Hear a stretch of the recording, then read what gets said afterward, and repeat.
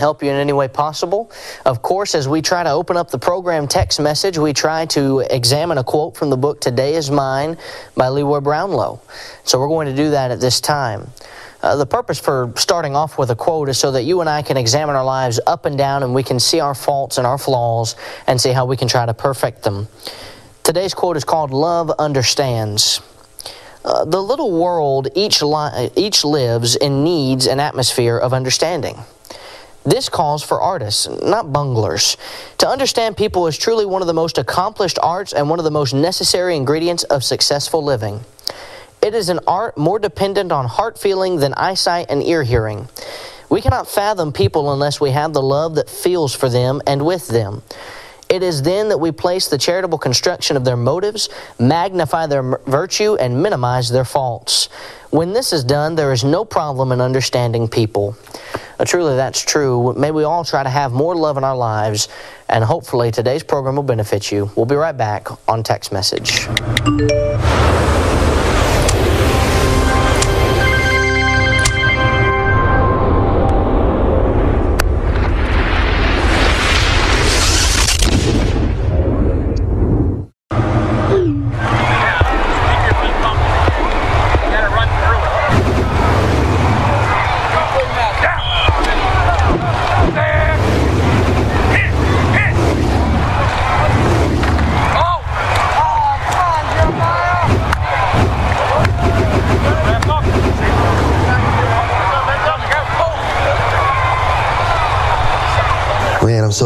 This game seven. You know, you think about these two teams, they've challenged each other throughout the entire season.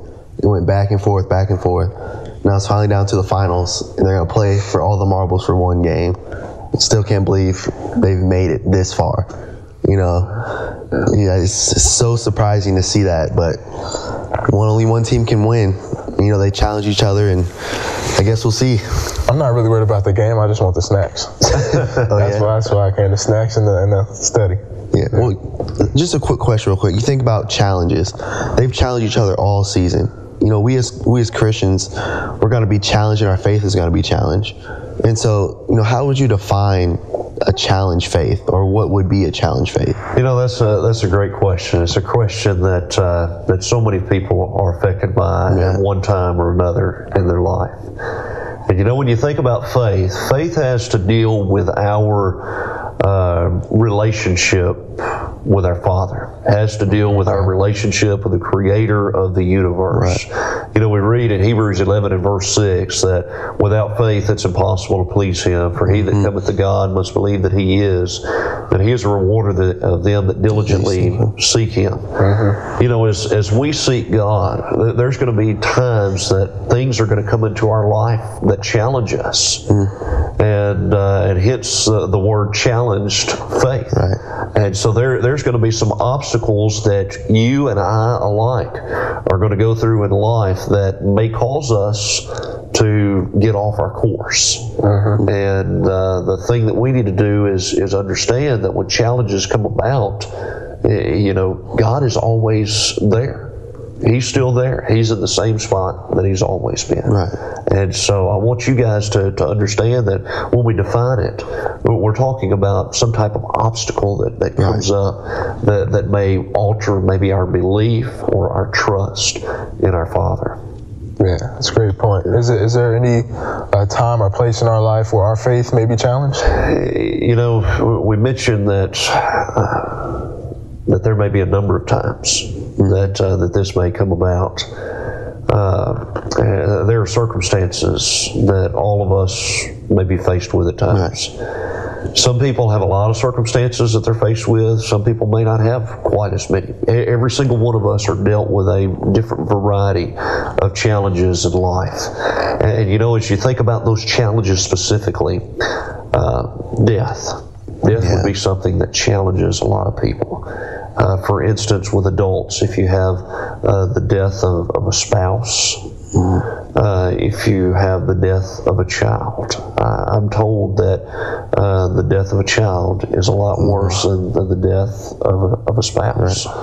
Eh, you know, my my sister passed away uh, several years ago, and uh, I guess it's been been uh, a little over five years now, Wow. somewhere somewhere in that neighborhood, and uh, it has really challenged our family, and especially my mother. It's challenged her a whole lot, and uh, it's something that's challenged her faith to the very core. But she's not the only one that it's challenged uh, that have that have dealt with death. You think about sicknesses. Now, there's a lot of a lot of Christians that, that have been affected by a number of sicknesses. Uh, some of them have been affected sicknesses like cancer.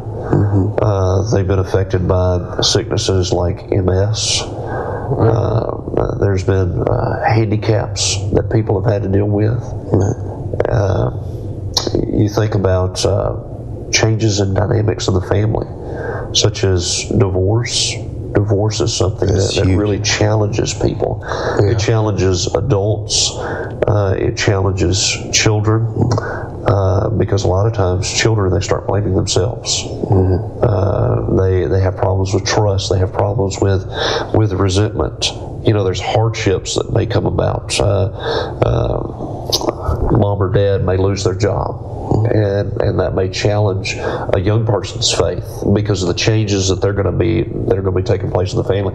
It may challenge the faith of an adult when they lose their job. Right. Temptation is something that challenges an individual in their faith. Some people uh, have a hard time with this specific temptation here or that specific temptation there. That one over there may not be a temptation to them, but those temptations they challenge people. And guys, they come in all shapes and sizes. Yeah. Well, you think about, you know, we talked earlier, uh, you know, about these two teams meeting again and how they challenge each other all season.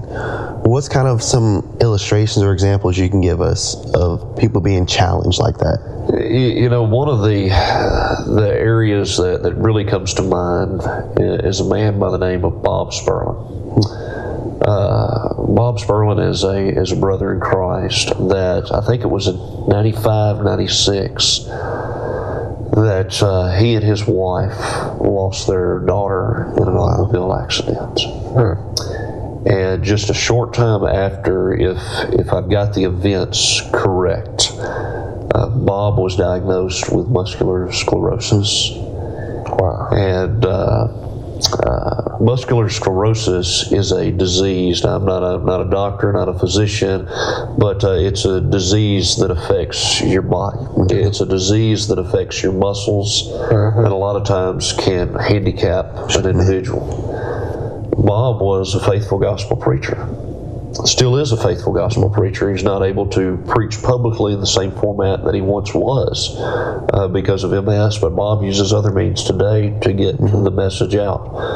Uh, but you think about uh, what 96 to uh, 2014, almost 20 years later, Bob is bedridden, Wow. uh, and this has taken place over time. But it's slowly, you know, affected his body to where the only thing that he can do is, is have this microphone that's attached to his mouth, and, and I think he's got a number of, of impediments with his speech now, but he's able to speak into his computer, and his computer is able to type out his messages. But I want you to think about not only how it's challenged him physically, you know, it's got to have challenged his faith as well. Oh, Absolutely. And yet, this guy has continued to persevere. This guy has continued to remain faithful despite this mind blowing uh, physical infirmity, this physical hardship that's taken place in his life. You think about the loss of their child, coupled with that. Uh, you think about not only Bob and what he's gone through, but think about what his family has gone through. Uh, his wife diligently, lovingly takes care of her husband every day, takes care of all of his medical needs, take care of all of his physical needs that he has. You know, it's challenged her at times. It's challenged his fa- other family members. They have a son. His son's a faithful gospel preacher, does a lot of great work in uh, in the state of Alabama, and uh, uh, but this family to me is the epitome of a family whose faith has been challenged, but yet they've remained faithful through it all. Right. And guys, that's that's the key. You know, there's going to be circumstances that come up in life at times, those hardships, those temptations, uh, those heartbreaks, uh, deaths, and sicknesses that may come up. But guys, the, the worst thing we can do is turn our back on God. That's the worst thing. Because God has always stayed there Right. with us. And I think it's very important that we have an understanding of, of what He has to say concerning this subject. Yeah, I actually want to go back to a, to a subject you was talking about. When your faith is challenged, it's going to do one of two things. It's either going to draw you closer to God, or it's going to drive you away from God. I remember uh, the uh, rich young ruler. His faith was challenged. He had to sell everything that he that he had, and he ended up uh, going further away from God. But you think about a man named Job. His faith was challenged too, but it drew, drew him closer to God. So I was going to ask: Is there any more verses that we can look at together to maybe see uh, about a challenged faith and see how we can strengthen the challenged faith? Uh, you know, you uh, Gerald, you mentioned uh, Job. Uh, Job is, is probably the epitome The of one. a guy that Yeah. that uh, uh, has had his faith challenged. You know, if you were to look up the word "challenge faith" in the dictionary and try to see a picture beside it, uh, Job's picture is gonna gonna be right there at the top of the list. But we see a guy who lost everything, uh, lost all of his livestock, lost several of his family members. Yeah. Uh, this guy, you know, you talk about everything that's been taken from him, his health, with all of the challenges that he faced there, and yet Job still remained a good man. He still remained a faithful man. It didn't. He didn't waver in his faith towards God. He still remained faithful to Him. And so, to me, if, if we're going to see a person's example and walk in that person's footstep of a challenged faith, that's the guy. You know, it's it's one thing to define something, Yeah. but it's one thing to see it in action. And Job is a guy where we really see a faith that's been challenged, uh, where he doesn't give up. Uh, a couple of passages to keep in mind. One of those would be James chapter one, verses two and three. Uh, and when I think about this passage, I'd like to share with you what the English Standard Version has to say in regards here. Like the wording of it. It says, "Count it all joy, my brothers." When you meet trials of various kinds, you know, we talked about trials a moment ago coming in all shapes and mm-hmm. sizes. When you meet those trials of various kinds, that's what James is talking about. He says, For you know that the testing of your faith proves steadfastness. It's mm-hmm. important for us to understand that every time our faith is challenged, that that's another opportunity that we have to develop perseverance. That's another opportunity that, that we have to build this steadfastness. And you know what? It helps us become stronger in our faith because there's a good chance that our faith is going to be challenged again. And if we've made it through that challenge, there's a good chance we're going to be able to make it through that challenge. You know, we learn from uh, experience is one of the, the best teachers, isn't it? We learn from experiences in life. We learn from good things that we've done. We learn from mistakes that we've made. And one of the old sayings is we don't want to make the same mistake twice, right? So we learn from those things. And so one of the one of the things about challenges of our faith, we made it through one challenge, learn from that. Hey, how did I make it through that? How did I keep my faith strong? Well, I can use that here when it's challenged again. Uh, another passage that comes to mind is, is Philippians 4, verse 6. Uh, here, uh, the Apostle Paul he says, "Be careful for nothing." Some of some other translations will use the phrase "be anxious in nothing," but in everything, by prayer and supplication with thanksgiving, let your requests be made known unto God. When our faith is challenged, one of the very first places, if not the first place to go to, should be prayer. But a lot of times, when our faith is challenged, where does prayer get put? A lot of Last times, it gets put as last Yeah. on the list. Yeah. And uh, so it's very important that, that we keep keep that keep God on the first of our list when problems come. I, I really love what the psalmist tells us in Psalm 46 and verse 1. He talks about how God is our refuge and strength, very present help in times of trouble. When those challenges take place, God is always in the same place. But you know, a lot of times we're the ones that move away from God. Right. Challenges come, we're the ones that, that move ourselves away. I remember years ago when I was in preaching school with your guys' dad, when I was in preaching school with, with Kelvin, he and I were classmates together. And one of the teachers that, that we had there that, that all the students love is Keith Mosher. Mm-hmm. And uh, uh, Brother Mosher was telling us a, a story one day and uh, he said he was he was telling us about God always remaining in the same spot, and uh, he said, you know, I remember years ago that uh, that my wife, his wife Dorothy, had asked him the question. She said, "How come we don't sit next to each other in the car when we're driving down the road like we used to?" You know what he told her? What was that? He said, uh, You're the one that moved away.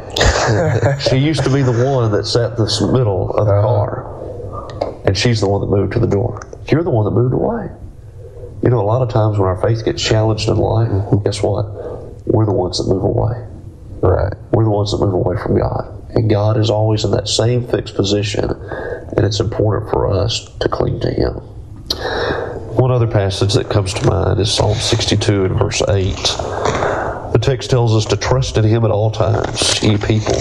Pour out your heart before Him. God is a refuge for us.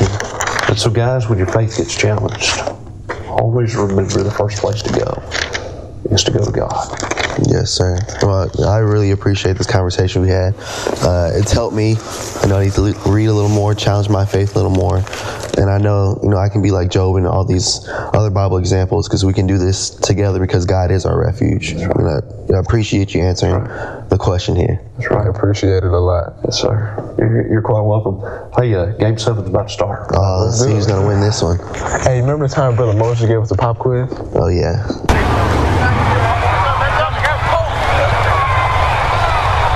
Today we're also going to look at another Pew Packers class as we just finished uh, 10 minutes to kickoff. We hope you enjoyed it. We hope that it helped you in some way.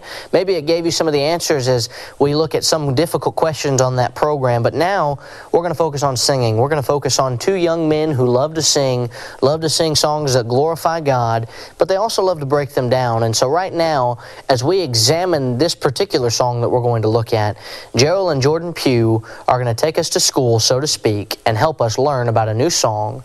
And what is that song today, Gerald and Jordan? What do you got to teach us today? We'll be back after they teach us this next song. All right. I think, you know, the next song I want to talk about is Where He Leads, I Will Follow. Okay. You know, the scripture reference, I think, for this song comes from John chapter 10, starting in verse 27, uh, where it says, My sheep listen to my voice and they follow me. You know, you kind of think of a, a physical shepherd. A physical sheep knows his shepherd's voice and he's right. always going to follow wherever the shepherd goes. So I think that's very practical where it comes from, and a practical song title as well, where he leads, I'm going to follow, and right. we're literally called his sheep in the word. Right. And so I want to look at you know verse number one here. Okay. It says, "Why keep Jesus?" It says, "I can hear my Savior calling. I can hear my Savior calling. I can hear my Savior calling. Take thy cross and follow me. Where he leads me, I will follow. Where he leads me, I will follow." Where he leads me, I will follow. I'll go with him all the way. You know, I think of, I can't help but think of Peter. You remember right. in uh, in Matthew, I'm sorry, in Luke, when he talked about, you know, coming to Christ, and he said, you know, I'm going to go with you both to prison and to death. And then right after that, he said, you're going to deny me three times for the cock even crows. Right. And so I think of his his zeal was there, but his faith wasn't there yet. And so I think that's something that we miss as Christians sometimes. We have that zeal, but we don't have the true mm-hmm. faith, uh, just right. as Jesus demanded of his apostles. Right. Actually, I actually want to go back to John chapter 10. Okay. John chapter 10, verses 27, you mentioned that this is the verse where the song comes from. Right. But if you look at the context of chapter 10, it's talking about the believer's assurance. It's talking about the assurance that we have being yeah. in Christ. And I want to read uh, verses 27 uh, again in 28 and 29. Okay. It says, My sheep hear my voice, I know them and they follow me. And I give unto them eternal life, and they shall never perish, and shall any man pluck them out of my hand. My Father which gave them me is greater than all, and no man is able to pluck them out of my Father's hand. Verse 30 also says, I and my Father are one. So we, we see here the assurance that we have being in Christ. Once we're in Christ and we stay faithful, nothing should be able to take us from our Father. Exactly. So I think that's something important that we can actually take from this song also. You know, let's let's look at verse two. I think it gets really important as it goes down to each verse. Uh, verse two says, "I'll go with him through the garden. I'll go with him through the garden. I'll go with him through the garden. I'll go with him all the way." You know, you think of this song, I think it's trying to take you back because it says if you're going to follow Jesus, you're going to have to follow him everywhere he went. And so, first off, he says, Okay, I want to follow you. I want to follow you like Peter. Right. And the second verse says, Okay, if you want to follow me, are you going to follow me through the garden, just as I did? And we know in the garden, that's where he was betrayed. That's where he prayed. That's where, uh, when he was praying, he was literally dripping sweat, like blood. sweats of blood Right. and that's where all his apostles they they ran away from him uh-huh. after the mob came so again this song is it looks like it's rhetorically asking okay you can follow but are you willing to do this are you willing to do that too Yeah, the song is trying to get you to think. Will you actually do what you're going to say you're going to do? right Like like you was talking about Peter, he denied Christ. Like even before that, Peter said he told Christ, "To whom shall we go?" So he was telling him he was so firm in that point in time. He said, "We have nowhere else to go." But then a little bit later, we find out that he betrayed Tri- he betrayed Christ. right So it's a lot of um, growth that we have to take place. It's a process. Our, our spiritual walk is a process. right and i think it's very very important for us to always go back and remember because you know we as christians you know as uh, you know we're always taught we have to count the costs you know when you become a christian it's not going to be an easy road you know the bible says you know uh, they hated me so they're going to hate you you know so if they hated the master They're gonna hate the hate the servants too Right. and so i think that's the importance of verse number two now let's go on to verse number three it says, I'll go with him through the judgment. I'll go with him through the judgment. I'll go with him through judgment. I'll go with him all the way. Now, this verse is kind of more positive here. The 2nd verse got you to think. But the third verse, it says you're going to go with him through judgment. And so we all know at the end of time when Jesus comes, whenever he decides to come, or when the Father decides it's right for Christ to come, we're going to go through judgment. Right. And so we're kind of thinking here, okay, you have to realize where you are as a Christian. You know, have I done enough? Mm-hmm. You know, have I evangelized just as Christ did? Have I did benevolent works? Have I done edification? Have I been busy? Have I been an active member in the Church of Christ? Right. Because if you haven't, you'll go with him through judgment, but you're going to hear the wrong result. Right. And so we want to hear, well done, thy good and faithful servant. We don't want to be like the slothful servant, Right. which was found. That's in. Ma- let's turn to Matthew chapter 25. Exactly. Matthew chapter 25 is the uh, parable of the servants and the talents. And the servant gave each of the of his, uh, or the master gave each of the servants different talents. And we want to look at uh, the judgment that we were alluding to earlier. Let's go to verse uh, 24. It says, Then he which had received the one talent came and said, Lord, I knew that thou wert a hard man, and reaping where thou hast not sown, and gathering where thou hast not strawed. I was afraid and went and hid my talent in the earth. Therefore, uh, thou hast that is thine. His Lord answered and said unto him, Thou wicked and slothful servant, thou knewest that I reap where I have not sowed, and gather where I have not strawed. So he's, he told him he's a wicked and slothful servant.